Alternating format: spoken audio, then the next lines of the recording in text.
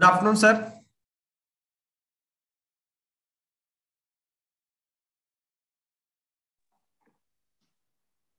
Good afternoon. Good afternoon. Yes, I, Dr. Pradeep Sharma from the Department of Mechanical Engineering. Yeah, yeah, yeah. Uh, good Yes, sir. afternoon very much. Yeah. Correctly, Gar sir will join you shortly. And uh, sir, uh, I think we'll have to wait for maximum five minutes so that participant can join. Yeah, yeah. It's uh, still five minutes to go. Just I am checking, right? So, okay. Yeah, yeah, sir. Please. Thank you, sir. Okay.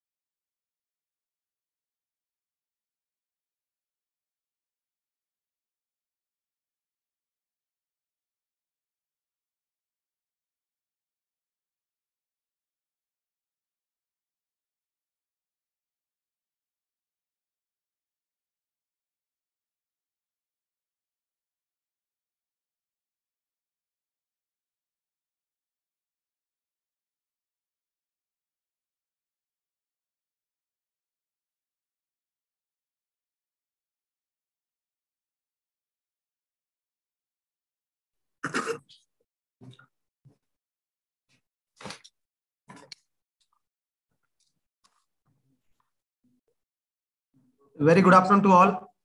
Welcome back in the next session of the fourth day.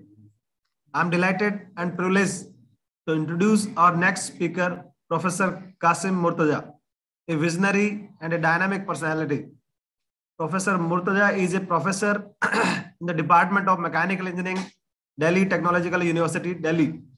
It's an honor to have you, sir, in our Atal Faculty Development Program. On the behalf of Department of Mechanical Engineering, Deen Bandhu Chhotu Ram, University of Science and Technology, I welcome you, sir, and thank you for being a part of this faculty development program. Dr. Qasim Murtaja is a professor in the Department of Mechanical Engineering since in DTU since 2009. Sir completed his PhD in 2006 from Dublin, Ireland, and after that postdoctorate fellowships from Manchester. now, sir is working on in the area of 3D printing, thermal spray coating, materials, and industrial engineering. Sir has the total experience of 21 years in the fields of teaching. Professor Murtaja have more than three years of teaching uh, teaching assistance from 2003 to 2006 in the Dublin University, Dublin, Ireland, and six years of teaching experience as a lecturer in the Mechanical Engineering Department, Aligarh, Aligarh Muslim University, Aligarh. Sir is working right uh, presently. Sir is working on a project to optimize the new manufacturing method, metal thermi, uh, thermal spray for the productions of automatic industry in collaborations with Alpha Tech Bentley Motors at Manchester, Metropolitan University, Manchester, UK. Professor Qasim Murtaja has got a research best research paper awards from Elsevier, Emerald, Springer Publications House. He has also a recipient of an excellent research award from Delhi Technological University since its inception. Thank you, sir, for being a part of this faculty development program. We are grateful to you, sir, for being an expert speaker in our uh, Atal Faculty Development Program. We welcome you, sir. Thank you, sir. So over to you, sir. Thanks. Thank you very much for a long uh, introduction. Thanks a lot. Um, okay, so let's see start it with. Uh, yes, sir. So how can I share? Is share the screen? Okay. So first of all, I share it that's there today's topic and i hope it's pop up there yes sir it's, it's visible to us perfect. So i just also on the pen if i need to write it down. So thank you very much uh, again dr pradeep. Um, i'm delighted for this uh, long introduction for me. So let us today we'll talk about uh, uh, 3D design of ankle foot orthosis or AFO and a concept of additive manufacturing through thermal spray uh, processes. So uh, today we will uh, look at or we will talk about uh, just like AFO, right? Or different type of prosthesis, how we are manufacturing presently in India and around the world. And how we can distinguish between the conventional method as well as our uh, non-conventional method. At the same time, what design criteria should be taken through manufacturing of ankle foot orthosis and because this is additive manufacturing, so how we uh, use it, ankle foot orthosis, this 3D technique, and how to enhance its mechanical properties are there. Uh, with a vis-a-vis, we will look at also thermal spray process, how we can use it for additive manufacturing. So when we know, uh, just we started, you are uh, getting many lectures about additive manufacturing. So we just started with the basic, then we describe it, then we will talk about AFO and then the design, manufacturing, how to do analyze the manufactured AFO or a case study of it, and then uh, thermal spray processes, how it is used for our additive manufacturing. So when we look at uh, additive manufacturing in nature, we know just look around. we have seen a number of additive manufacturing concept by the nature is given, and there is a small example of our seed which become as a big tree is there.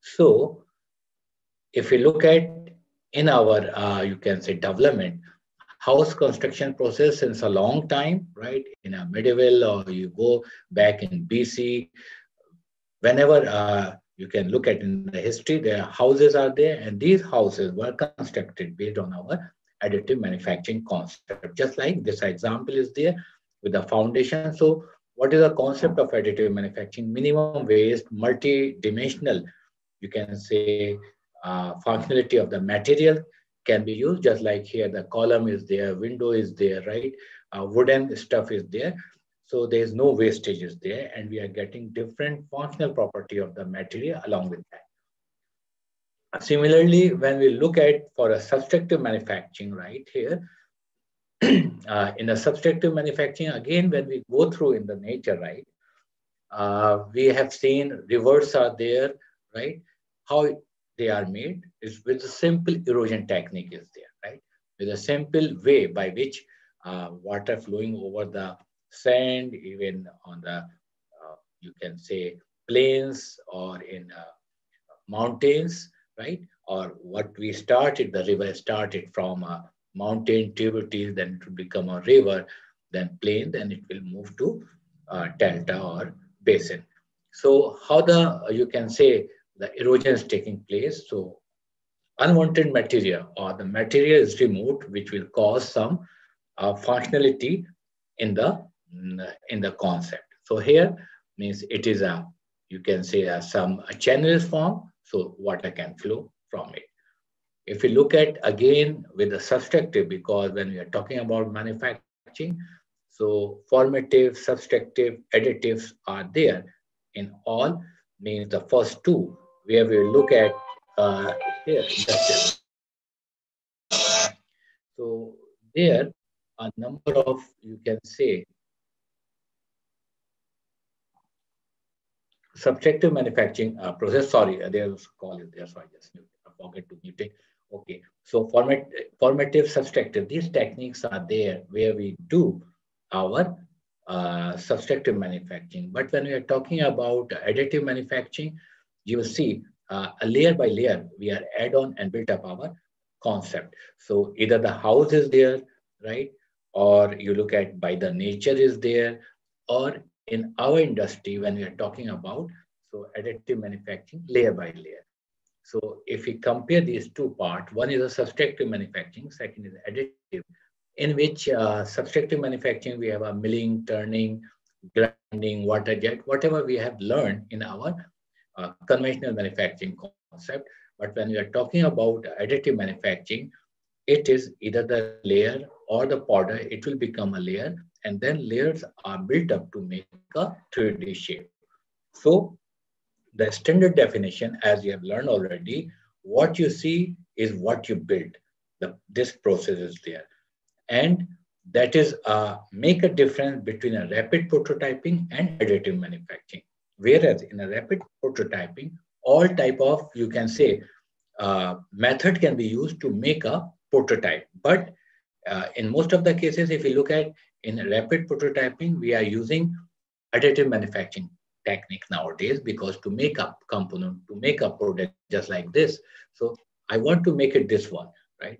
So it is as soon as possible, I want to make it. So look at, test it. So that is the first product is there. So that is the rapid prototyping. But additive manufacturing, in which we are using different techniques, means by the way to build up layer by layer and to make a component. Maybe it is for a single piece, maybe it is for a some uh, numbers are there, or maybe it is a continuous production is there. So there is uh, no limit of the components are there, but as we look at, there is only one component, it is in it. And if you look at basic steps, right, where we have a 3D, after scanning, we make a 3D model, convert into a STL file, then we make it into a small slice, make it its uh, codes, G codes or proprietary codes, command codes are there, which is transformed to machine and they do printing in X, Y, Z, right? So if it is Z is there, right? This is, let us say, X and Y. So here in the form of the Z, it work in XY direction to make it as a layer by layer. So whatever the standard definition presently, which fulfill it at the same time, how we go through it, through our, you know, a Z axis or maybe X or Y axis in the form of codes are there. So this is about uh, very brief, just what do you mean by uh, additive manufacturing and when we use it. So with this concept, either any process qualify for the additive manufacturing or not. So now back to our topic, the orthoses are there. So most commonly orthoses, why it is required means those which uh, people are disabled due to nervous system issues are there or uh, muscular disorders are there. Maybe they are the temporary, maybe they are the permanent. So they need some sort of the support so that mobility can enhance or they will become as a, uh, as a common person. So orthosis, if you look at the objective is that means uniformity to correct the uniformity is there to support or resist the movement of joint toward the patient gait cycle means the walking cycle is there to relieve or distribute distal support process uh, during the walking or uh, forces, plantar forces distribution should be uniform. And to protect from external exciters are there. In the last, it will, uh, a person can walk or a patient can walk with a maximum mobility as a normal person. So we will look at here, the basic objectives are there. So it should be qualifier means when we are talking about additive manufacturing, it does not mean that we will make it. It looks like no. Nowadays, means the additive manufacturing means it has qualified the two part. One is my material and second is my functionality. If it is qualified, then we can go for our production. Otherwise, maybe it will become a toy. Maybe it is good to analyze, maybe to look or to view or to feel aesthetic of the material or the shape is there. But for additive manufacturing, at least this should be there. And for the orthoses, if we look at in 2020 data uh, is there, about 7.3 million, right, in the United States, there because their data is there and they are updated continuously. So that is why I've taken this. And uh, when we compare with uh, other countries, so we can't expect it, but it is much, much more than that. Especially war-torn countries are there, just like you know Middle East countries, Afghanistan, where you know the bomb accident are very common phenomena during war. So mostly the accident was happened uh, to uh, you know the leg, foot, or hand, so they may damage. So a large, you can say, the population needs to it to retain its mobility, and they should work as a as a basic human, or it's a complete or normal human is there. So if you look at in the history of the prosthesis, right, or orthosis combined to up to the leg, since in a 1800, right, from a wood, leather, then a leather, wood, steel, right, then we have a plastic start there. So there is a continuous development in the material is also there with the prosthetic. So if you look at in the history, right, about uh, 3000 BC, right, where in the Egyptian period, they are using splints, right? Which is made up of wood and they are surrounded the bone. So this is the bone is there, right? This is bone. If you look at, and this is a wooden splint are there and they are tied with some, you know, rope is there to support it. So if you look in the history, the people are using. Then if you go just uh, before, or you can say after the development in this, about of uh, 500 BC, right around. So there is a splint fractures of tibia is there, right? And there are leather pads are also there. So that is uh, wood as well as the leather. They are used to support it, to uh, you can say fix the fracture and to help in the walking. Whereas Further, we moved in history, right? So about a 500 to 1500 AD, right? That what we call a medieval period is there. Splint or the plaster mold are used or they were used during that time to treat a fracture. bones are there. And the plaster was made up of flour and egg whites are there. So that is a calcium is there and which will give the strength or support, or you can say uh, with the help of the flour is there. Maybe it is a wheat or maybe any other. So the continuous development is going on. And nowadays we look at uh, all the options are available with the different materials and a huge development is going on.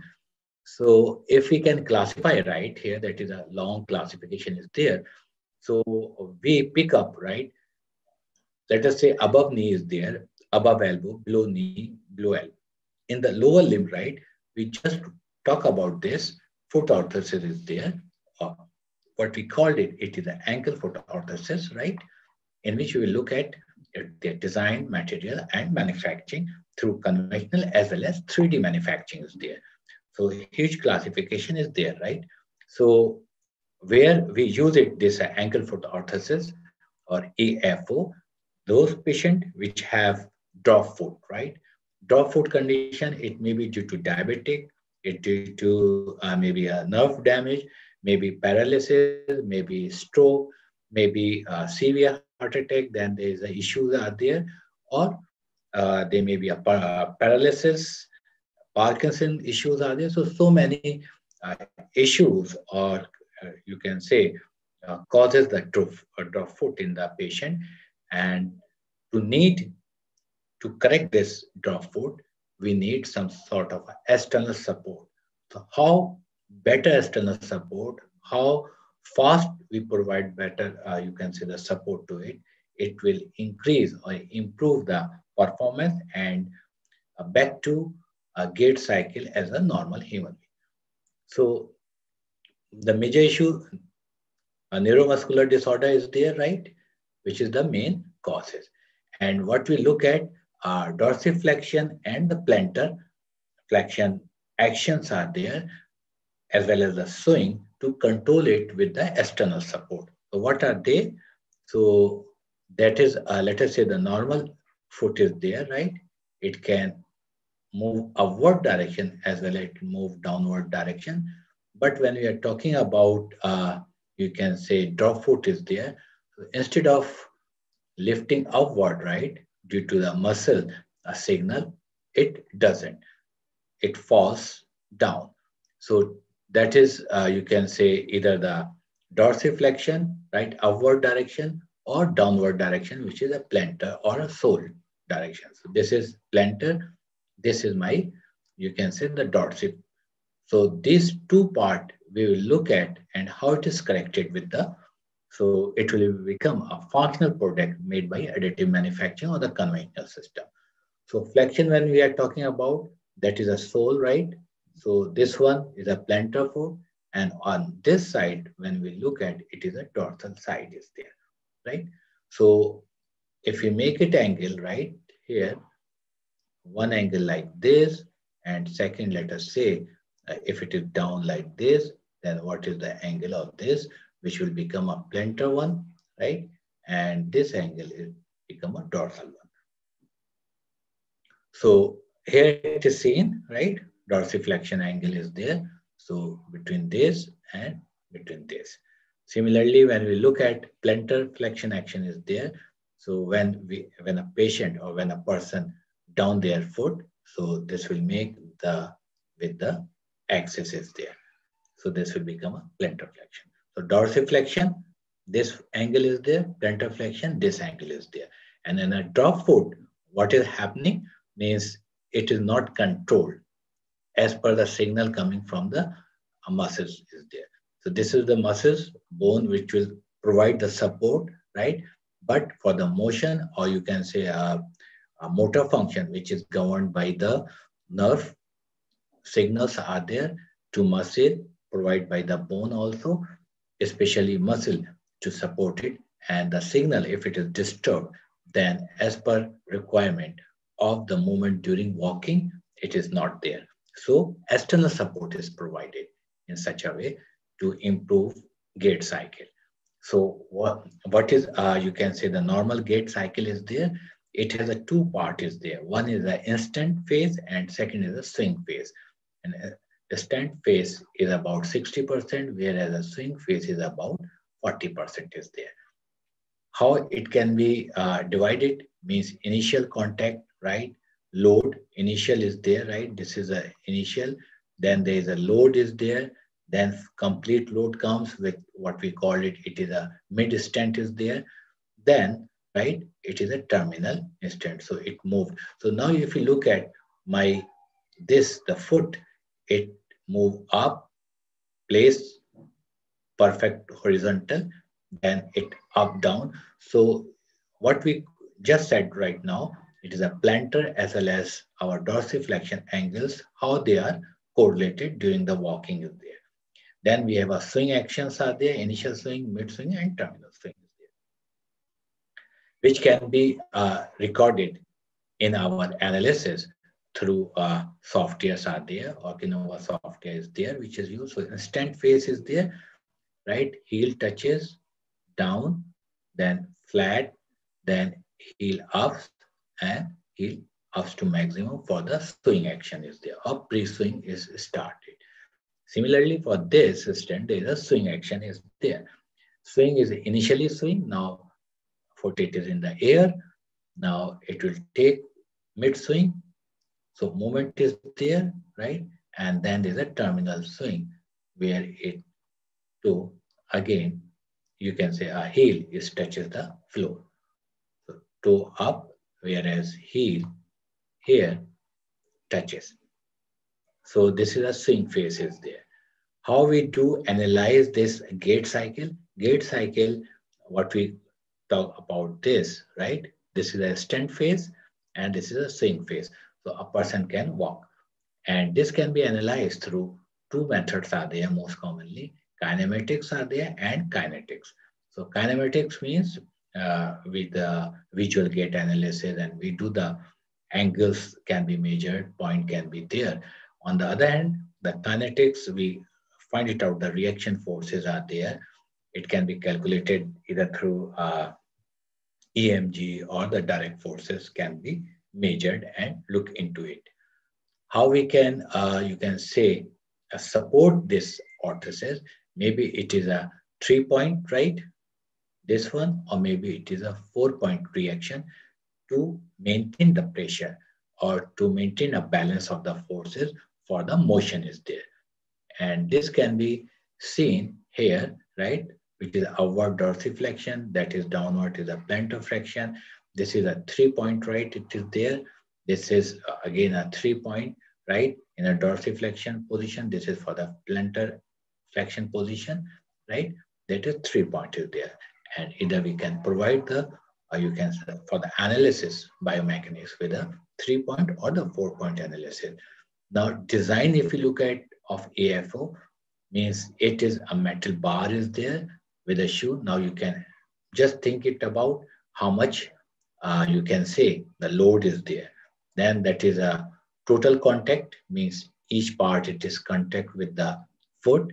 And this is, you can say the flexi, this is, uh, you can say immobilizing, means it required uh, support as well as external support is required through some external, you can say agency also because 100% immobilization is there. Whereas this is a weightless, means it is made up of cotton or fiber or textile one, just to a small support to the muscles are there, especially when the pressure drops and like these issues are there. So we are looking like this type of there, right?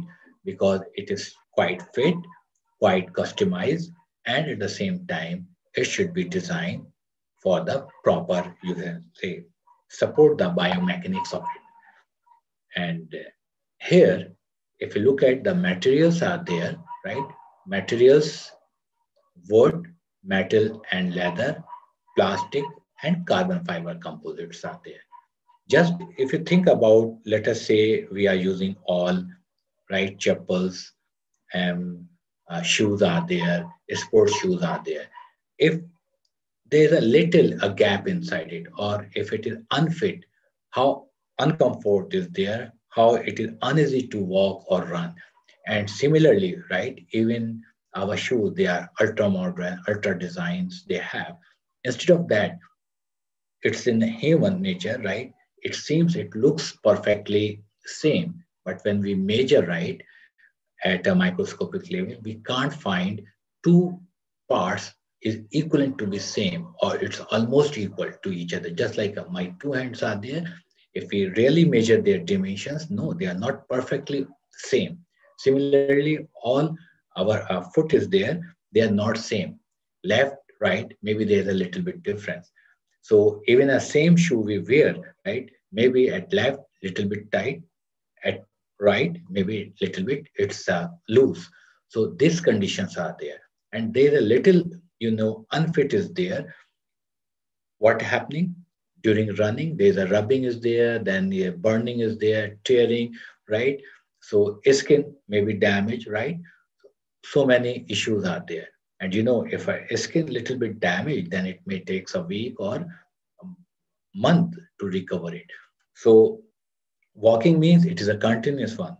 On the other hand, when there is AFO is there, it should be supporting also. Means there is a force reaction is coming on either on the plantar, dorsal, or calf muscles are there. So it should be properly designed.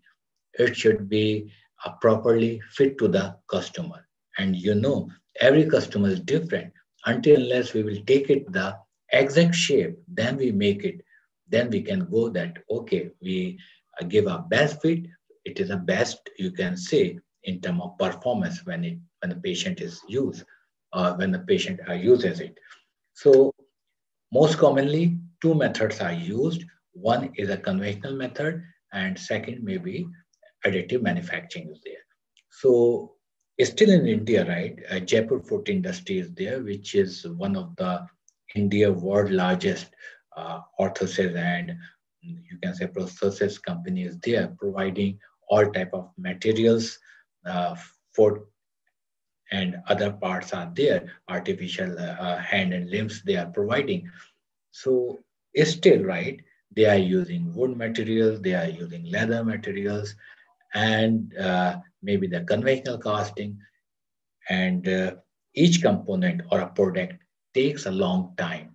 It is not uh, uh within a two days or three days. Maybe it is a month requires to get the. So that is another issue is there.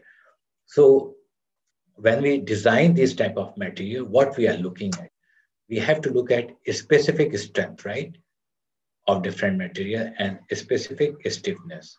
So specific strength means the strength upon density, right? So strength upon density, right? And similarly, stiffness, if we have taken stiffness upon density, we have taken, and that is a specific stiffness. So we can compare it with different materials with their masses are there.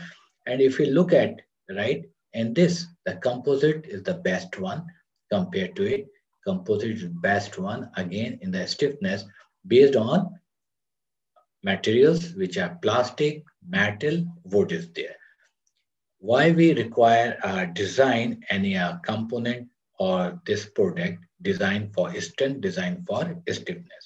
So let us say if we have a foot is there and this is my foot, right?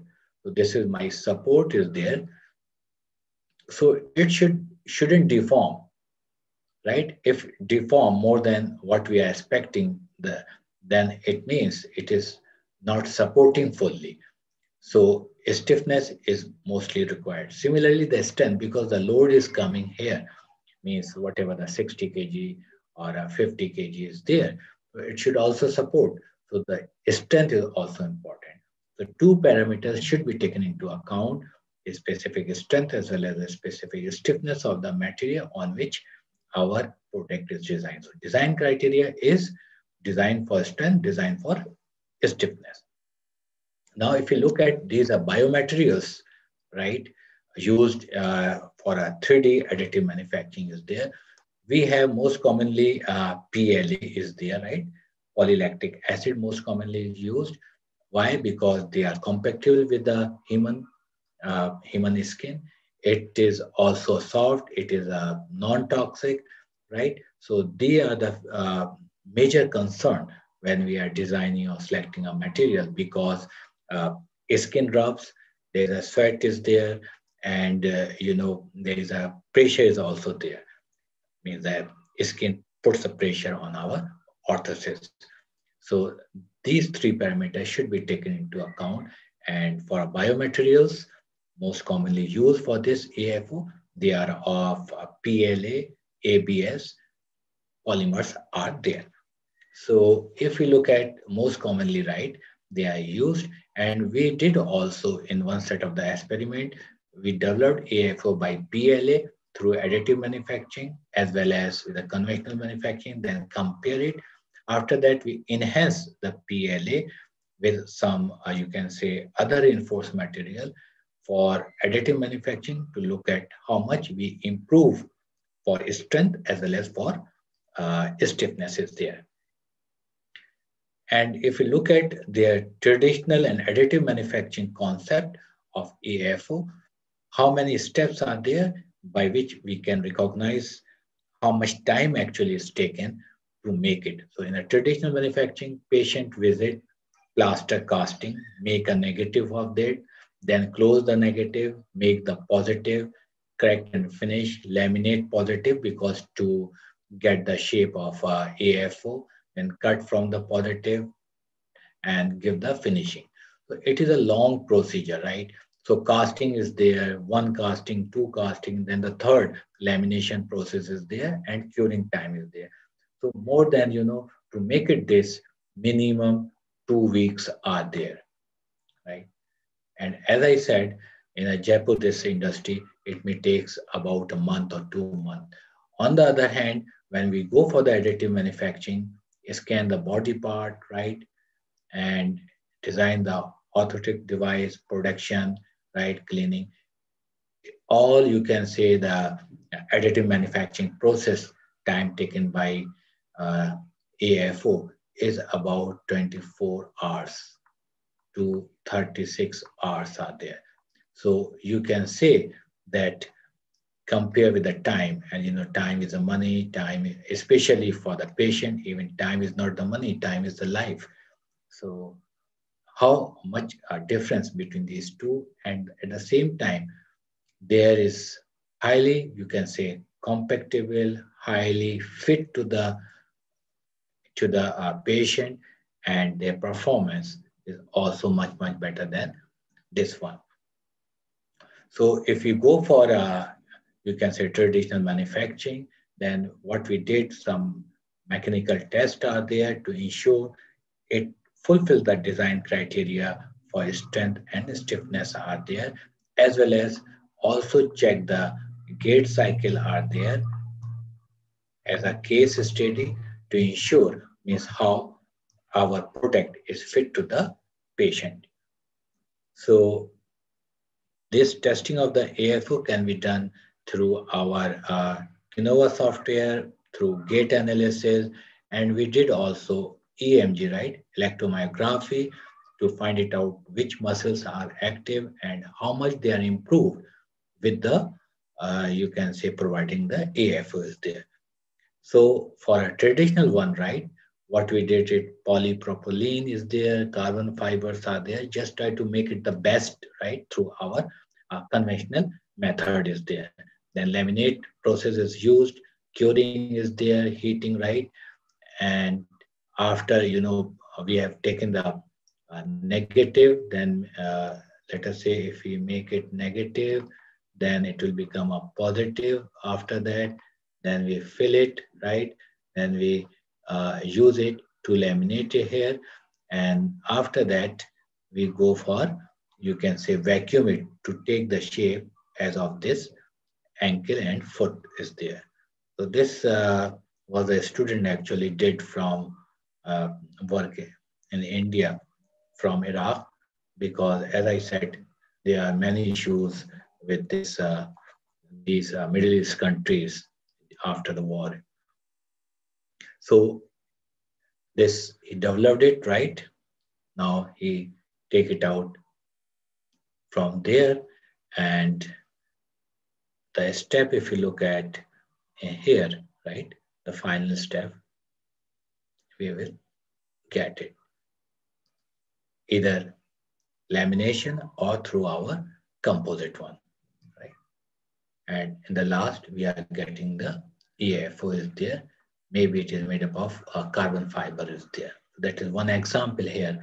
We look at uh, through our traditional method is there. Now look at our additive manufacturing because you know the conventional method as well as the additive manufacturing manufacturing. We have learned very simple but what are the issues are there and what we uh, you can say the layout or a process layout followed to get it the best right? And what are the uh, technique we will use to qualify our product for uh, use? Because uh, here we need also to qualify according to a uh, few uh, medical science testing is there. So scanning is one of the important part. What type of scanning you will do? The issues are there. May you will learn from uh, other faculties or experts are there. Then CAD design, how we can transform it. What are the errors in it? How we can patch it? How we can stitch it? And how accurate uh, we can get the profile, right? So interpolations are there, different interpolation we use if there is some area is unmatched or untouched is there. So we have to prepare complete CAD model. Once it is, we develop the CAD model, then we make it slices, we will mesh it, make it as an element, then go for biomechanical analysis as well as the stress analysis on our ankle foot orthosis.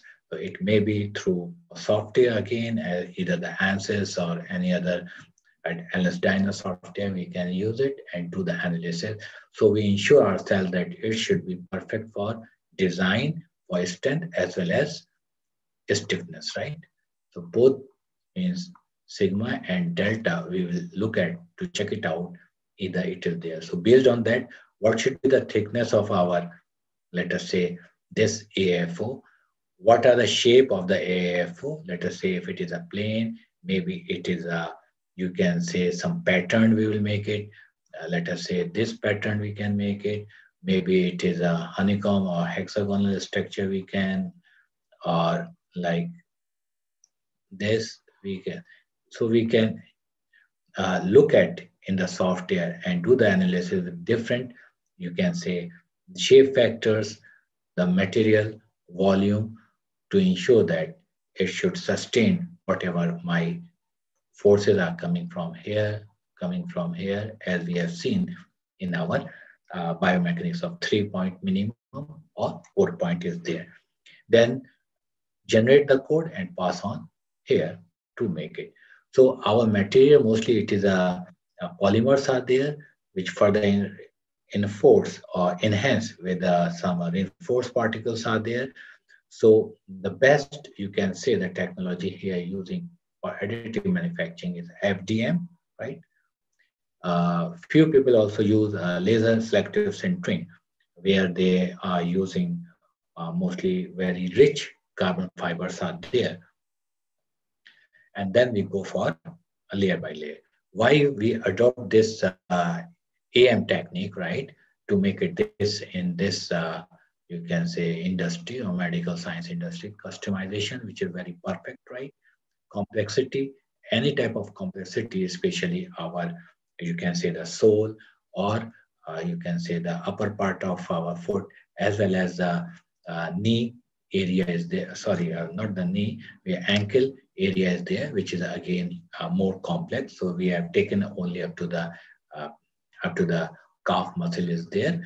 So lead time, as we have seen, the cost, it is really cheap compared to that. Why? Because all uh, the process where material is not wasted. In a conventional method, a large material is wasted, right? We first will make it negative, then make it uh, positive, then fill it, then after that. So all that, these steps are there, even we are using a simple plaster of Paris or all that. So materials, they are actually wasted. Then we do curing and all. So compare with that, it is cheaper for a longer duration for uh, continuous use of this. Multi-material print can be possible, right? And it is biocompatible and sterilizes also compared to that. So scanning issues are there. Uh, here, uh, if, if, we classify a scanning method, very simple, either the one, it is a contact one, and second is a non-contact. So contact means just like a tactile, you can say sensors are used to measure the dimensions. Very simple is my uh, CMM machine, right? And this coordinate measuring uh, machine is used for, uh, you can say, the mechanical component where we require accuracy up to uh, one micrometer, right? Let us say in my case, in my product, there is no requirement of uh, accuracy up to one micrometer. Maybe 100 micrometer is enough, maybe 0.1 mm, even 1 mm, right, uh, can be enough. So in non-contact, we have the two, active and passive. Active time of flight, triangulation method, and structured light. So they are uh, simultaneously measure the distance, get the pattern, and develop it. Whereas in a passive type, just like as an eye, take the image and then process it. After that, we do, we can play. So they are the different methods. So here we have seen, we have just used structured light, means monochromatic uh, of a standard frequency. We are using it and then we can get the uh, shape of it. So that is a projector is there, two cameras are used, right? And with this uh, working principle, we take the surface measurement and draw the surfaces there. And this is used in the lab where this is, uh, we can say, range vision smart camera and scanner is there. It is, uh, you can say first uh, we do calibrate it up to how much? It is uh, accuracy 0.2 mm, right? 0.1 mm, 0.1 mm in our, you can say XYZ, 3D uh, point accuracy is there, right? And 3D resolution is 0.4. So 0.5, you can say accuracy, we will get it with this camera, right? First, after calibration from it, let us say this is a head of MetaQueen, we use it, and then we go for our, uh, you can say, uh, foot ankle is there. And once we will uh, get the uh, point data is there or cloud data from there, then we will, uh, you can say, fix it and get the shape of our, you can say, of foot ankle is there. And this is used Autodesk Mesh Mixer, where uh, to get it for uh, meshing, right, and convert it into STL file. So here, uh, one we have seen this figure, it is a hexagonal hollow structure are made here, which is mesh for the analyzing, right? Here we use Autodesk Inventor Professional for this purpose. And once we will get it this, then what we do, we apply the load here, apply the load here, let us say, and look at means how it is bent, right? Or let us say here, deform is there under the load, and this is maybe the delta, right? Deformation, where the strength we have also taken here, just to look at how the stress is distributed over this part, right? As well as this part, so that uh, we can decide the thickness of this one, right? This is my thickness is there it can be optimized also in the process.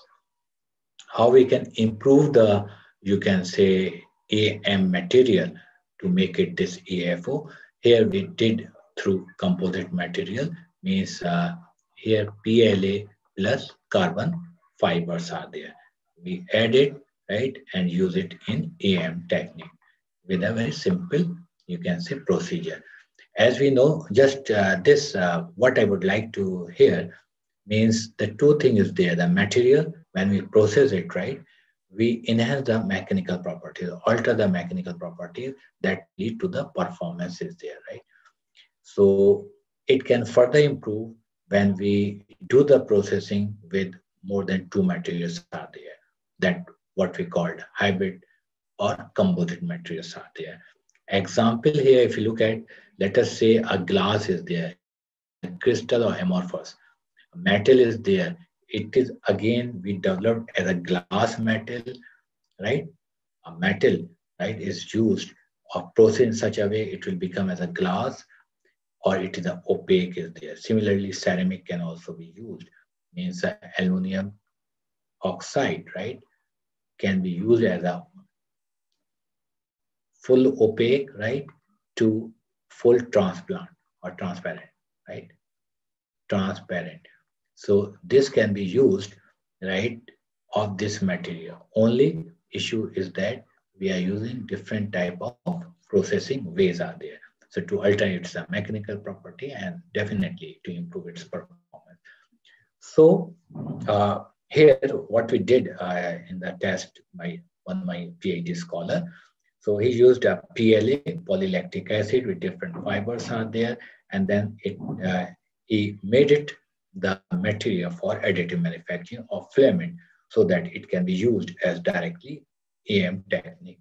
He used it with a simple, you can say, extruder is there, right, where he took a PLA, right? Pellets are there, carbon fiber which mixed, right? Then extrusion process right, after blending and filament is there. And this filament, right, after curing, it is used in 3D printer, right? Where we developed AFO through composite materials are there to improve, to enhance mechanical properties are there. Similarly, he used ANSYS 18.2 software to uh, go for the analysis, right? And find it out the stress distribution, pressure, force, torque, all these parameters are there. And if you look at here, I'm just representing this one. And this area actually, the load is there, right? And this is the calf muscle which initiate the energy, right? For dorsiflexion and plantar flexion action is there. So to validate or to qualify my product, this for the AFO in the patient, we have to check it out. This part are there. So this is a PLA, AFO, and plus a CF or carbon fiber that was made through AM technique, right? After making this. And with the help of that, we did also this a tensile fracture, other standard specimen to make it the material to compare different properties of our conventional material, then uh, improved materials are there, right? With a different percentage of it just to generate data uh, to get it the optimum material so that optimum you can say result in term of design for strength and design for stiffness when we did analysis through softwares are there as well as tested.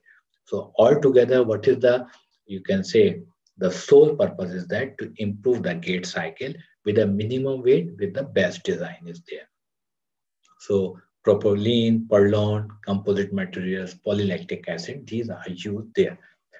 And with a different uh, test, we three point three point bend test is used, right? Then a flexure test is used.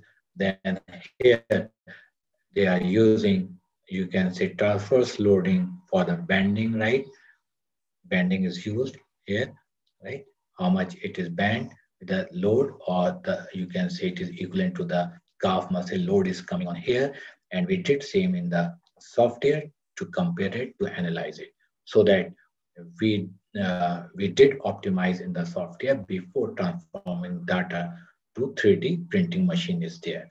And here 3D printing we are using simply this FDM is most favorable used for PLA plus carbon fiber composite is there. And the load applied after that, right? After this analyzed, uh, analyzed and manufactured, then we have to check it out for the gait performance. As we said, by the two process, we have to do it.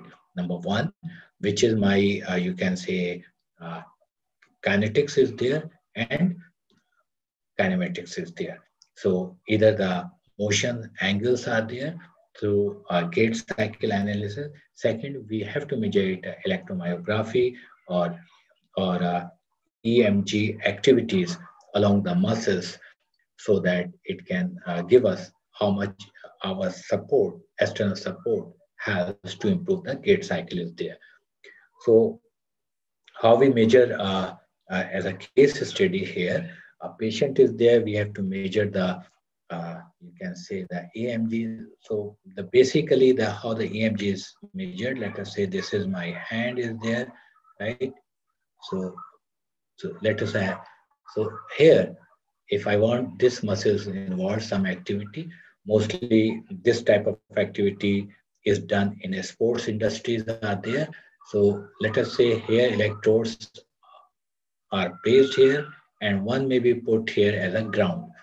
So maybe the two electrodes and one ground is used right here so that the activity uh, means why the ground is there means a signal is let us say it which is coming here already that is of ground. And this actually the signal which is causes the uh, you can say the muscle activity. And after that what we uh, we will look at uh, how the fatigue occurred in the muscles is there. It can be seen here let us say i'm just uh, draw the emg activity this is my gripping force let us i'm just uh, explaining with a standard example is there so grip, if I have pressed it, what will happen? If I am pressing it, I am applying force is there or grip force is there. So grip force is, started increases, right?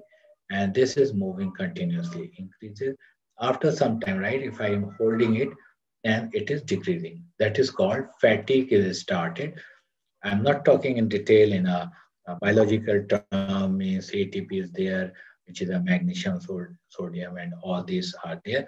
So we are just retain ourselves up to mechanical term is there. So this is my gripping force, right? It increases, I squeeze it, right? I hold it and this, but after some time, it is decreasing. Whereas uh, if you look at the EMG pattern is there, before here, EMG to start here, activity is there, then we are getting here. And from here, right, it is starting more. So what it means is this EMG or millivolt, you can say activity is increases, but the output in term of force is reduces. So what do you mean by that? There is a fatigue is there. Whatever we are giving input, we are not getting as output. It is lost somewhere. So that is lost means which is a fatigue is there. So we can measure the fatigue, we can do all the analysis are there. But here we have restricted ourselves how to improve gait cycle and how we use to it to measure it. So different type of AFOs are there, right? Uh, polypropylene, carbon fiber is there, PLA, then PLA with different carbon fibers are there, right? How to uh, record the gait cycle and do the analysis with the Kinovea software is there. That is, so it actually uh, you, you can say kinematics, which is measured here, right? And this can be by measuring the angles. With the help of that, we can find it out how much it is improved in our plantar and dorsiflexion angles are there. So that is a standard test is there, two meter, three meter walk is there. And uh, analysis is recorded right through camera and using this uh, recorded picture with the uh, software, right? It measured the angle right here and give the analysis part of our this one.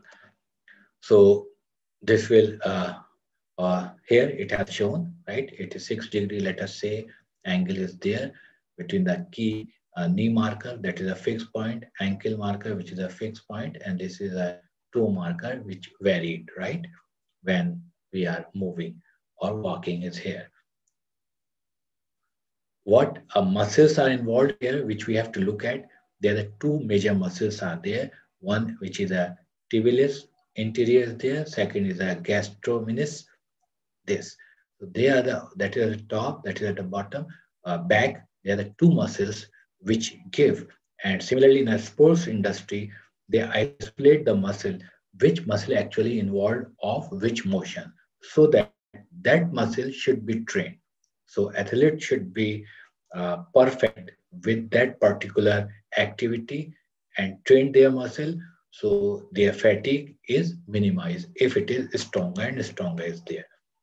So here, what we did, uh, using, a, let us say, a normal person and a patient, using with the, uh, you can say, uh, this EAFO and measure the EMG's activities as well as, uh, you can say, gait cycles are there.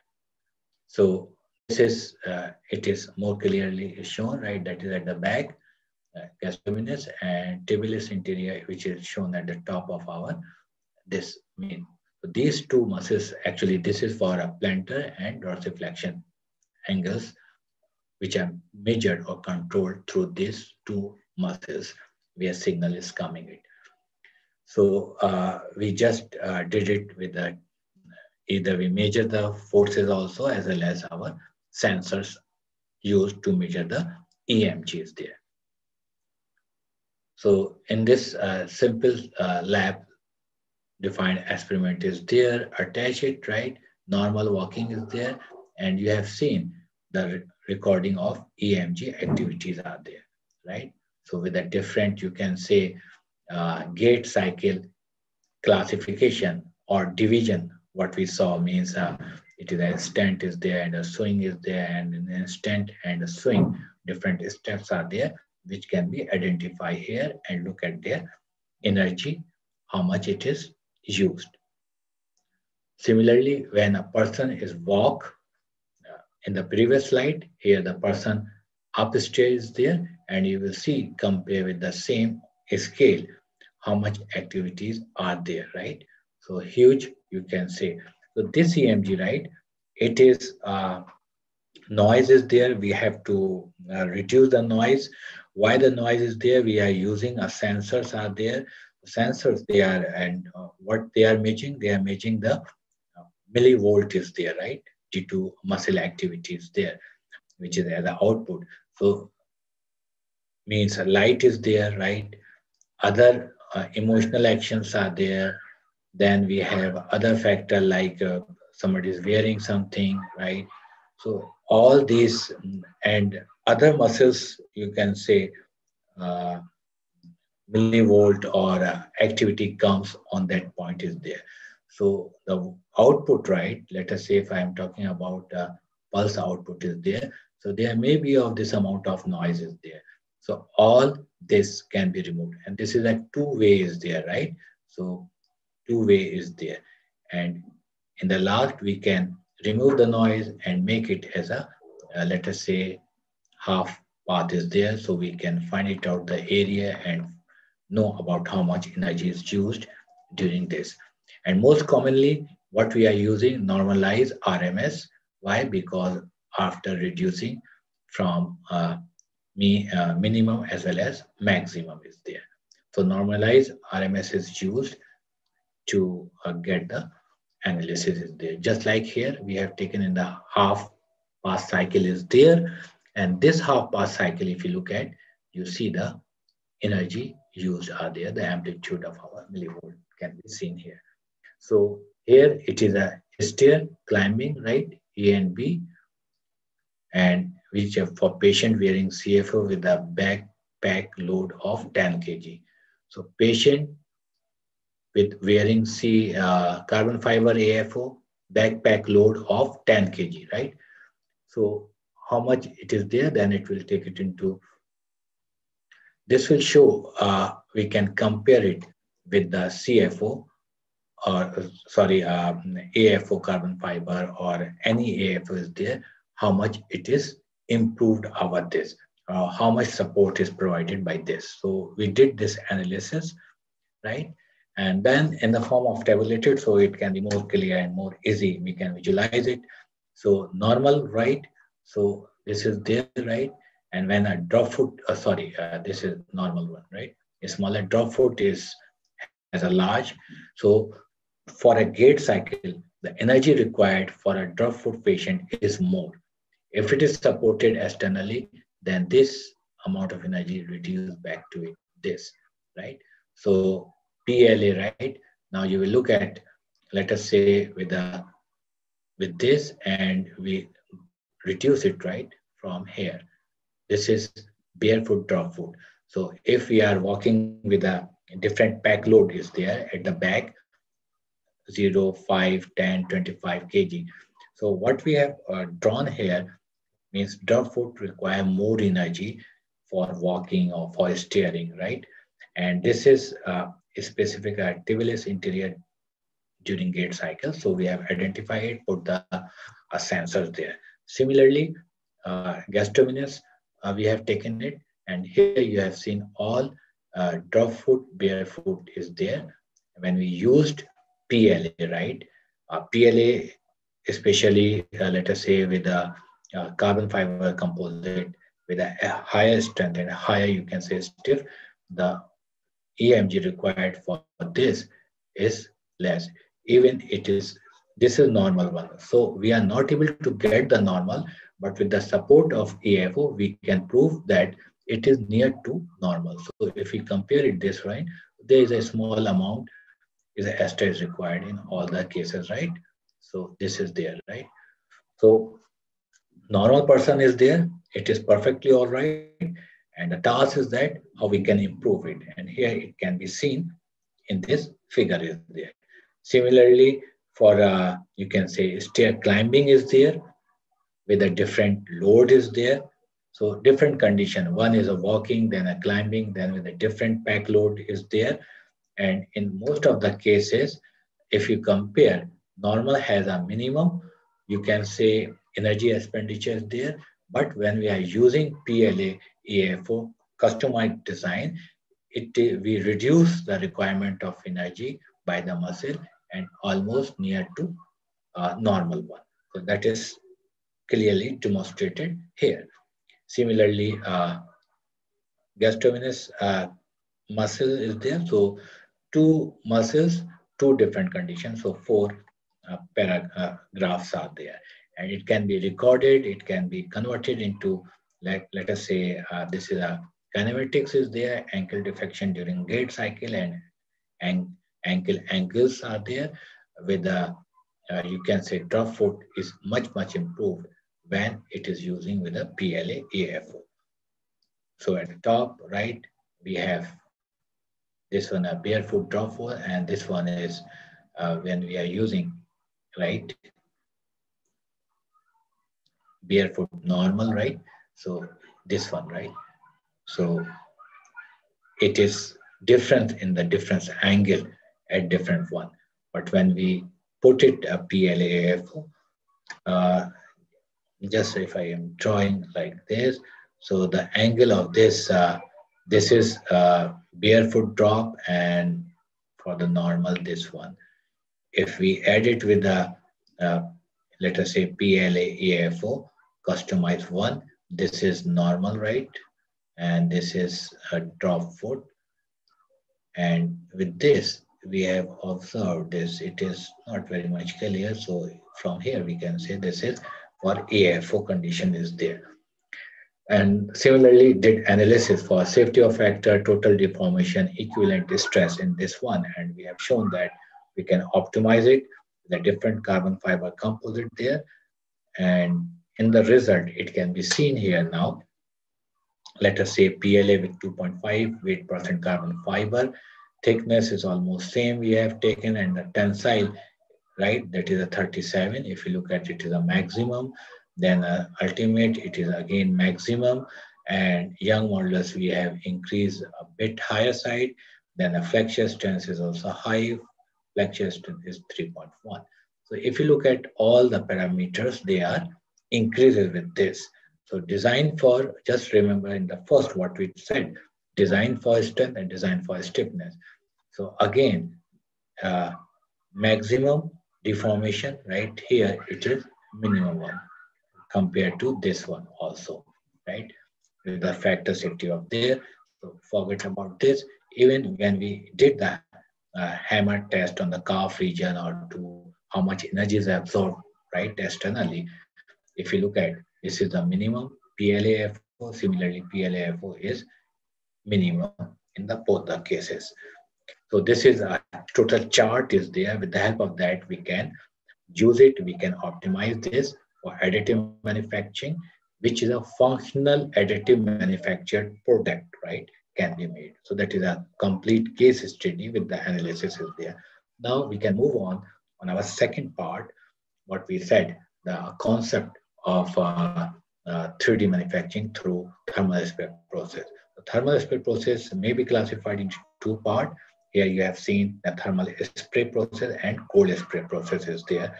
How we can use it for additive manufacturing uh, purposes there. So in a very simply means thermal spray process, we have a gas, energy, and a material which is mixed together. After mixing with a high velocity, it is uh, striking on the on the substrate is there, right? So it uh, or you can say it uh, on the surface is there. Now, if you look at uh, the different uh, particle morphologies are there, that is one is my cake structure is there, and second is flower-like. These two shows how much kinetic energy bears by this particle before striking. It means it has a less energy, it has a more energy, so that more is spread on the substrate. So we have to look at either we require a dense type of coating or dense type of um, to build up the material, right? This is one layer is formed. We put another layer, we put another layer, then we will get a certain thickness of it. And this may put it another one, the chances of porosity is developed. So depend upon requirement, just like in a, a sintering, either we required a self-lubricated bearings are there or a porous bearings are there or a complete or dense uh, parts are there. So thermal spray coating here we look at conventional flame spray, electric arc, wire spray and plasma spray. We will look at uh, HVF also. What are uh, protect can be made through with the concept of additive manufacturing in the short. So um, the process parameter of this uh,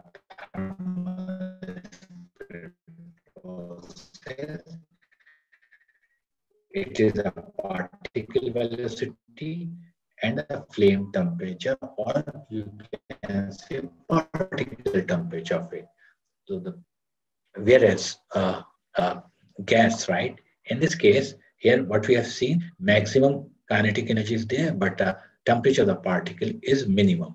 So that is the range is there. Other processes, let us say high velocity oxy-fuel system, wire arc spray system, they are at different position aligned. So plasma, just we know it will become a plasma is formed, how it is formed, argon, hydrogen gas, water to cool it down, and there's a powder. So plasma channel is formed and powder comes it. So it has very high temperatures there, and then it is substituted over there. We have seen spray film is there. What we are talking about additive manufacturing, if you remember, the first standard definition means uh, we are layer by layer. So the layer does not mean that what, what is the thickness of it. Either it is in a micrometer, maybe it is in a millimeter, maybe uh, maybe it is just like a brick of in centimeters are there. So this can be used to make it as a component. So here what we did again, it's a one uh, case of a medical history. Uh, that is uh, calcium hydroxide plus uh, phosphoric acid and we are getting this, what we call it HA, hydroxyapatite, which is equivalent to human bone is there, right? So this is used, the powder is produced, right, through uh, spray process or atomization process, which should be a sphere that is a required uh, requirement of the condition to spray properly. Thermal spray powders are there. And they spray through the plasma, right? Where on this implant, there, they are the uh, hip implants are there, right? Where a femur breakdown and then they put it just to uh, repair that or replace the upper part of it. So this part, right, can be sprayed by HA powder. The purpose is that to become as a, uh, you can say, compatibility with the human bone and improve its, uh, you can say, a particular uh, life of the implant are there. So this part, it is coated through HA, right? So coating, it is additive manufacturing in term of the layer here, if you look at. And with the help of this, the life of our, you can say the implant is almost twice and thrice. So before, without this coating, hardly five to seven years. After that, it will become a 15 to 20 years. And we assume this type of fracture mostly in the old people, right? Where if uh, somebody is 70 and put 15 or 20 years, then 85 or respectable uh, patient can attain the age without any pain. Otherwise, if using without HA, without any type of deposition here, then there is after within a five, seven year, pain starts. So no option to have again uh, take it out. And in old age to repair and right to heal up major issues are there. So that is one example of it. Then the second is a high velocity oxyfuel system. The advantage is that it is designed just like we have a diamond shape. And this actually amplify this wave, the particle velocity up to three Mach number, whereas the temperature is there. So tungsten carbide cobalt, right? They are deposited and uh, washers, right? Hollow cylinder can be prepared by this, even with this, uh, some, some sort of a profile curve is there. How it is developed means, let us say uh, we have a spray here, coming here. My, this is, let us say, a cylindrical, solid cylindrical piece of aluminum. And here, tungsten carbide, cobalt, right? Spray is deposited here. It rotated, right? So it is deposited, layer is developed over there. After that, we put it in the furnace, right? We know the temperature of this, the tungsten carbide is more than 3000 degree and aluminum, right? It lose from it up to a 600 to 700 degree. Then we take it out and upper layer, which is by, uh, you can say 3D tungsten carbide, cobalt, cylindrical component are there, just like washer. So their wear and tear is very high. So where a continuous load is coming, it can be replaced by that. So that is the second case of it. And the third, as a solid bar, means with this die is there and we uh, layer by layer, or you can say that continuously spray over this, and there we are getting the isometric view of my tungsten carbide uh, tablet is made up. So it is a 3D component is there. The, the fourth case is an electric arc wire, uh, wire spray process there. So two electric eye means the, the uh, properties that it should be a good conductor. There is a, a voltage difference is there, flow of high current, right, which are breakdown. And uh, from here, the gas is coming up that spray over the spray over the substrate. So it is seen here and one, uh, you can see the flow chart is made here to make a component. Uh, if we look at there, right, uh, this is uh, a spray mold, right? And which is spray with this. Then uh, we do the surface processing. We do the uh, reinforce with the other materials. And after that, we'll take it out the uh, that are coated part supported with the fiber or any other form of the material. We did this testing so that forget about this. So that is there. So that is, uh, we did the setup there and that is here, right? So this is aluminum alloy coating, right? It is a freestanding coating is there. So this coating is there. This is a pure aluminum alloy coating produced by two-wire arc spread process. If it is, you can say support by carbon fiber here, then we can increase the, uh, you can say the stiffness and hardness and deformation. And it has a story about of this car bonnet, right? So car bonnet is made up of aluminum alloy, right? Which is produced by two-wire arc spread process the the target here it is about uh, let us say that the uh, the conventional one right of Bentley car is about a 15 kg that was produced with the support of carbon fiber right? It is 4.5 kg with the same strength right? Almost in term of deformation. Just like we have a, a paint is there. So with the scratch we can uh, you can you can uh, you remove it. So the property of uh, compressible with that and light in weight, we can make it with different design because all spray is done through this mold and this ceramic mold can be made easily with a different shape, different dimensions. Now we can go for the last part, which is our cold spray additive manufacturing is there, right? And in the cold spray additive manufacturing, uh, when we look at how much time we have, I think, uh, uh, I think how much time we have? Yes, sir. Uh, we have uh, up to 434, 45. We can. Okay, we have a 10, 20 minutes more. So, okay. So that is a cold spray, right? Additive manufacturing is there. So how we can use cold spray as an additive man manufacturing?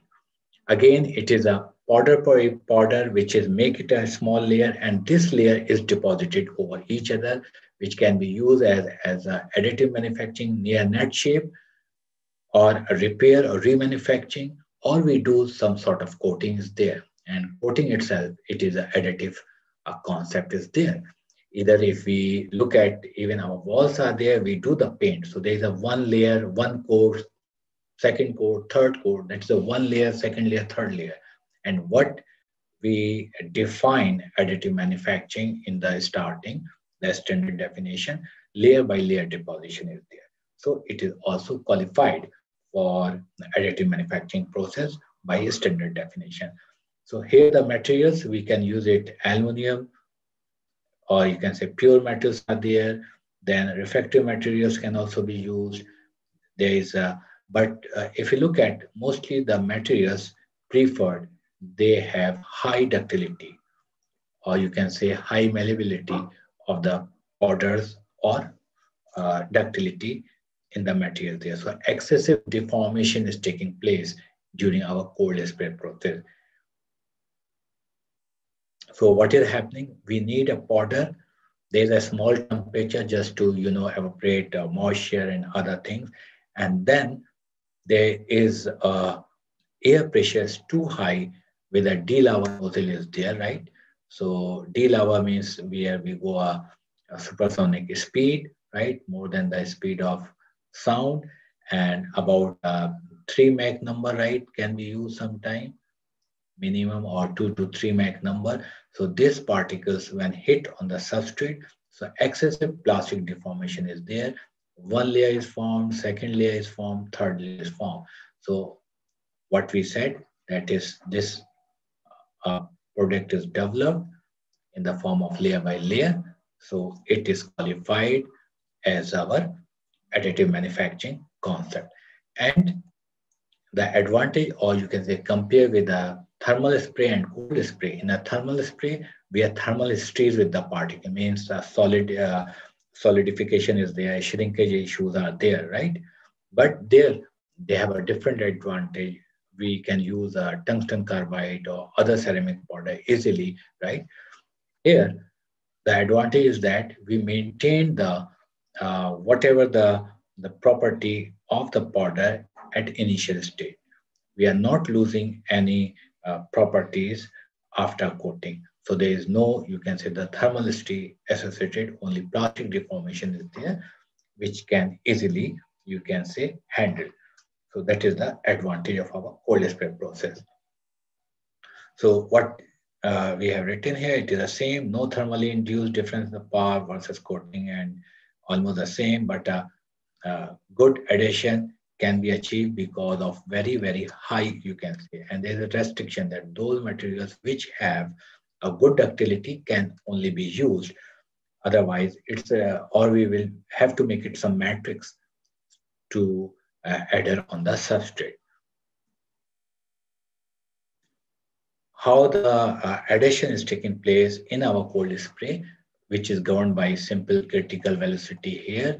And this graph just give us idea what should be the velocity of particle before heating.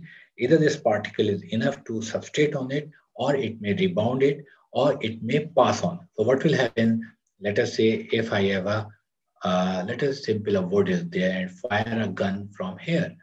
So what will happen? It pass through it. Let us say if a, a simple small ball is there, what will happen? It strike and rebound it. If it is a water balloon is there, strike over here, it is splash out here, right? And water stick remain, whatever uh, absorb here, rest it falls down in the droplet. Three condition can be possible. Similarly here for the metal particle when they are striking over the substrate, maybe no deposition is there, deposition is taking place here and possible erosion is there. Either it can take away the material or maybe pass through, that is a steam condition, right? Just like a blood gun, when you fired it, passes through uh, through the uh, material. So either it eroded, it carry away some material with that. So in this uh, analysis, what we did, just a simple, you can say how you can go in, how we can look and how we can uh, do some uh, latest research from where we can start. Let us say material selection is there, right? So we have taken here copper, aluminium, and titanium. Second substrate is there. Again, we have taken copper, aluminium, and titanium with a different particle size, with a different particle velocities are there. So we can do whatever the analysis which has shown in this figure through uh, to look at a critical velocity, right, for the deposition and how much deposition efficiency we can find it out and how we can use it this practically successful cold spray process for different powders on different substrate. It can be seen by this simple software analysis is there where three conditions have been taken and a very simple model again we are using a standard one Johnson Cook plasticity model which is used for excessive plastic deformation or excessive damage is there and where we have taken the damage parameter omega which is more than one then there is a deposition is there if it is less than that, then it may be rebound is there. And here, uh, with the standard, you can say the equation of this, uh, it can be A, B, and C, and the other material related constant are there. And yield strength, work hardening parameters, dimensional S strain rate parameters can be. So this is temperature, right? And where my E, right? This is uh, excessive plastic strain is there, right? Which is equivalent plastic strain can be used. On the basis of that, we can find out damage parameter and this damage parameter is more than one means. So that is a Johnson plasticity model, which is standard is used. So how the addition is taking place, that is oxide, right? once the metal strike, right? Or you can say equivalent plastic strain is almost zero. Oxide layers are there. There is no, no, you can say the bond of the materials taking place. There is no, you can say uh, metallic bond or even uh, you can say a simple bond is there because oxide layers are there. So they are separate from each other, right? Whereas it is greater than this, then the plastic surfaces, uh, you can say, excessively deform and starting off metallic deformation is taking place. And here, if we look at this figure, the third condition means excessive plastic strain and damage is occurred, right? What is happening? This voids reducing because material is deformed plastically extended or moved in the direction, in both direction, right? And this is joining is taking place, right? And it is moving further. This area is reducing, so complete metallic bond can be achieved, right? So one, right, and second, let us say, can be developed. So this can be seen easily here, right? So if we go through that with the Abaqus models taking place and a condition one is my, uh, this is, can say a particle, right? Which is, sorry, particle is there, that is my substrate is there. So how plastic deformation is taking place, either it is excessive or rebound, whatever the condition is there, right? And for this, we have seen with the present work, means uh, that a student did the simulation, compare with uh, one as standard, you can say who did a lot of work in this area by Lee, and we almost compare it and we got through simulation, same results are there. So once my model is perfect, my model is uh, free from element, free from mesh size, right? Then we go or look at, you can say the, uh, you can say uh, compression ratio is there, right? dp minus dh upon dp means uh, what is the diameter of the particle minus the, the particle after you can say hemisphere or after uh, you can say uh, attach on the substrate and the diameter of the particle is there. So that is greater than and that is definitely less than. That is the one way to find it out. Second is a flattening ratio is there. The diameter, which is a spreading dia, means that you know that is a dia and a diameter of our particle, this one, right? So this is a flattening ratio by which we can find it out. In this case, we have taken the, uh, you can say, the diameter, it is this one, right? The height one. So with the help of these two way, uh, ways, we can find it out different condition and look at how our excessive plastic deformation is taken place, what are the conditions. We can find it out the process and use it for practical application or experimental condition is there, right? So this is a condition is, let us say, five, uh, 300, sorry, 400, uh, 500, 600, 700 meter per speed. So the speed of particles is increasing and we have taken at 35 nanosecond time to be taken. So all conditions are same, only the velocity increases. So this is very less velocity. This is 400. This is uh, 500. You will see as we increase the velocity, so kinetic energy of the material, right?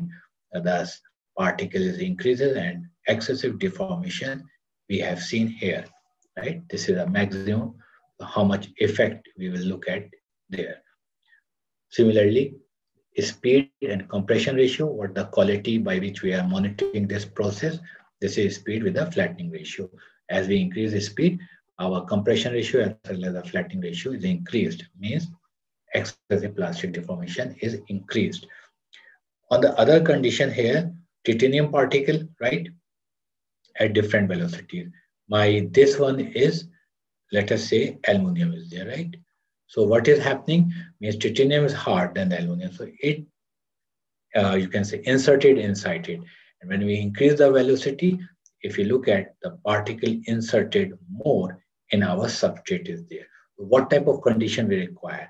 In our, uh, let us say when we are talking about uh, cold spray for additive manufacturing, the layer by layer. So it should be flattening our particles and at the same time they are getting the uh, metallic bond and coming over each other. This condition uh, does not uh, suit us for, for a deposition technique.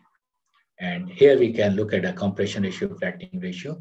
With this, you can say a cross section of our substrate and particle is there.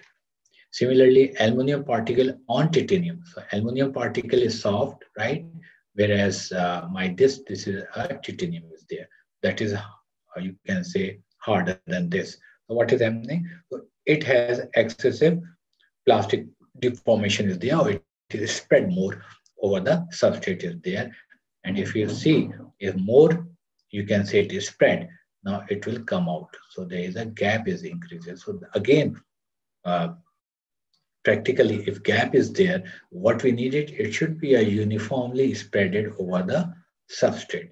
If it is there, right, then there is a chances of uh, rust is there, maybe the uh, ox oxides are present and may cause to uh, failure of our material there. So it should be a complete one, right? Let us say like this.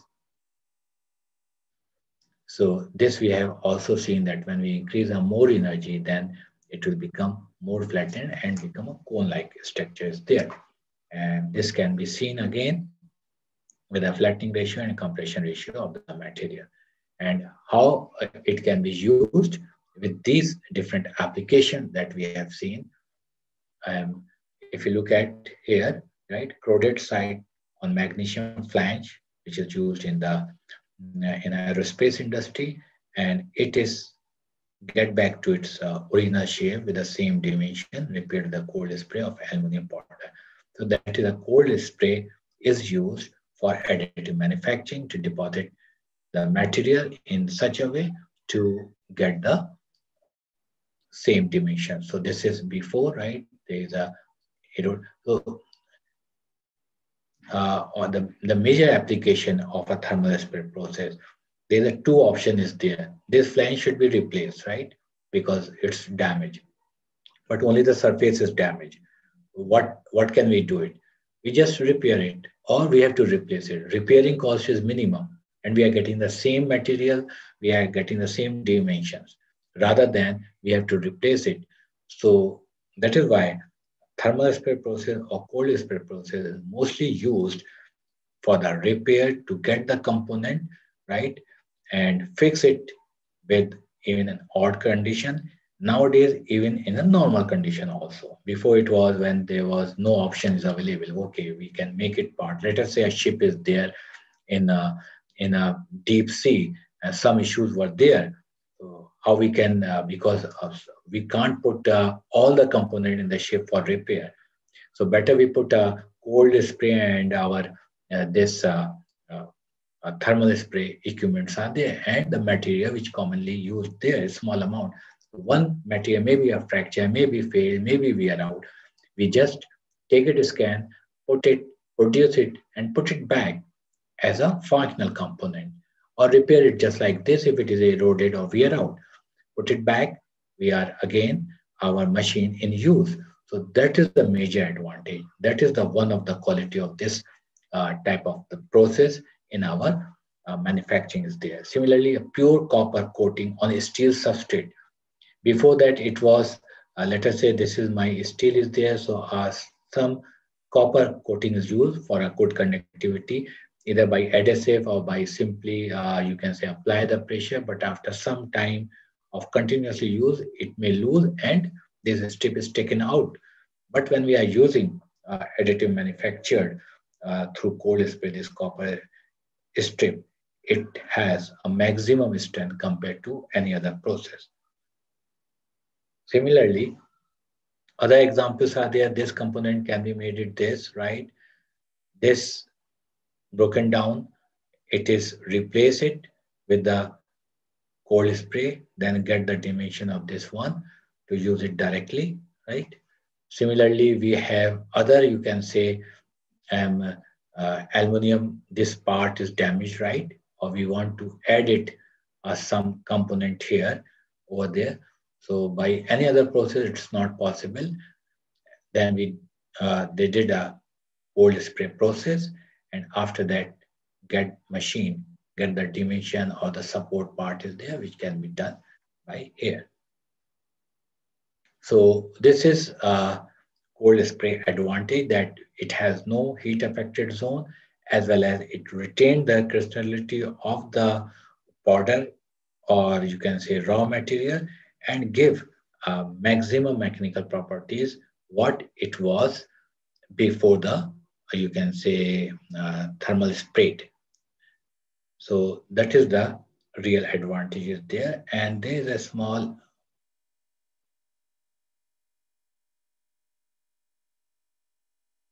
okay.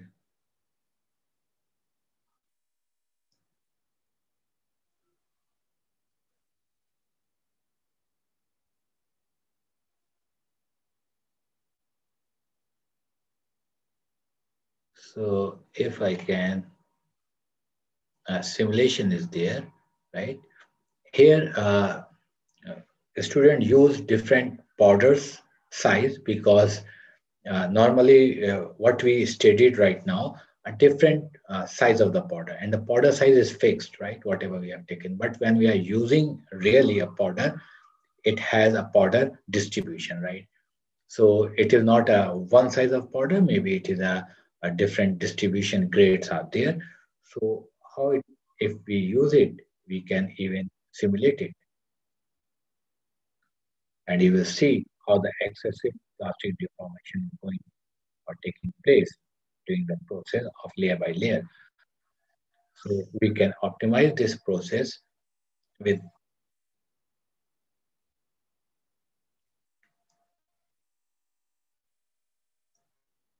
So with this uh, software technique, we did this uh, cold spray optimization, right? Very well and analyze and optimize before we can apply in our real life. So thank you very much. So do you have any query?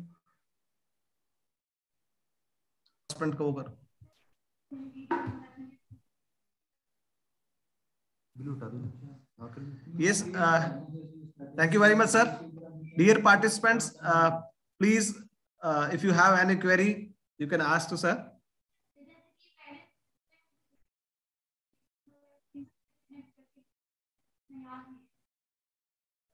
Participant, please.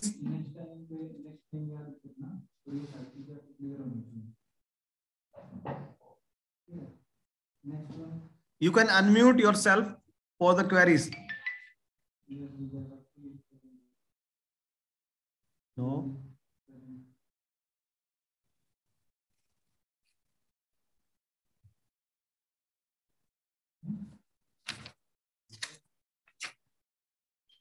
No query.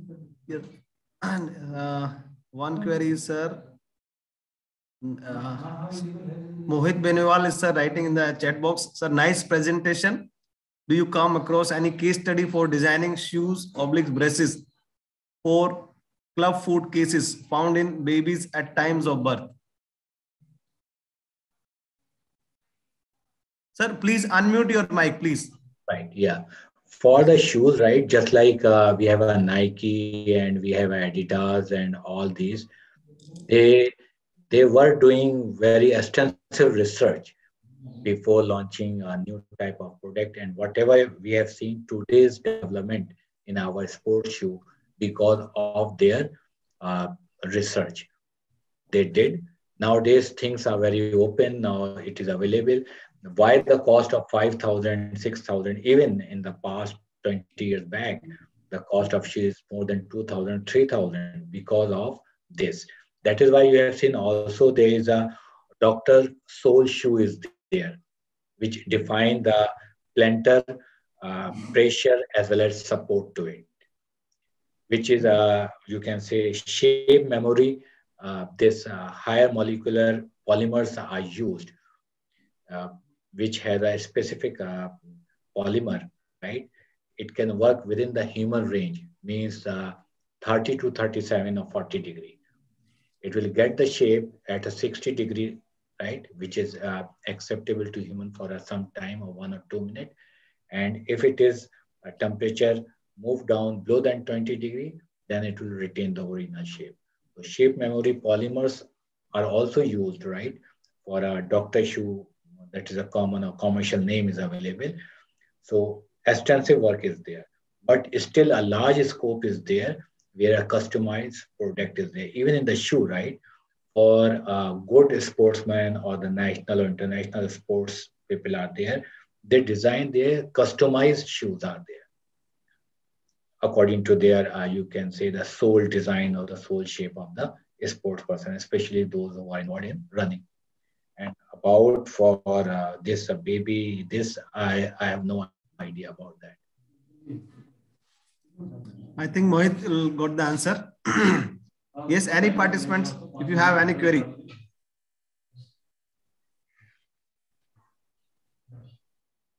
Okay. So thank you very much sir for such a inspiring and informative talks on the role of 3d printing in the medical fields and the role of thermal spray coating in additive manufacturing. A very simple and interesting way you, of your teaching, sir, really made this session a wonderful. Thank you very much, sir, for making this session a memorable for us. And I believe your talks and the method you suggested will benefit the participants. Thank you very much, sir. Thanks a lot, sir. Thank you. Thank you. That's sir, I think. Sir.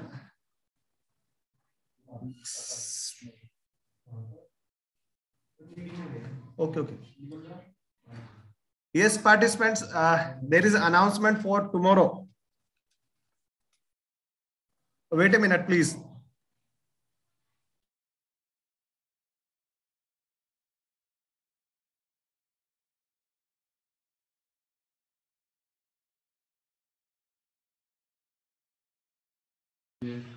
Dear participants, uh, there will be a test uh, for tomorrow at 11.30 that is related to this uh, uh, subjects of this FDP that is 3D printing and design.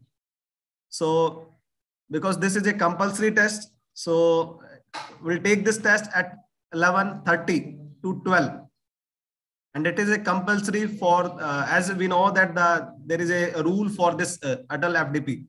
So this is a compulsory test for the certificates you can say. So tomorrow we'll have a test at 11.30. So please join accordingly. And uh, the morning start, uh, the ses morning session will start as per the schedule. So there is a, uh, will be two lectures in the morning session and after that, we have the validatory functions. So we'll meet accordingly tomorrow at the 9.30 a.m. sharp. So thank you very much. Thanks a lot. एक query है जी ये जो sir कल जो 11:45 के schedule के अंदर 11:45 पे डॉक्टर दीपक का एक लेक्चर दिया हुआ था build your open source yes sir low cost commercial FDM जी जी जी ये स्किप है skip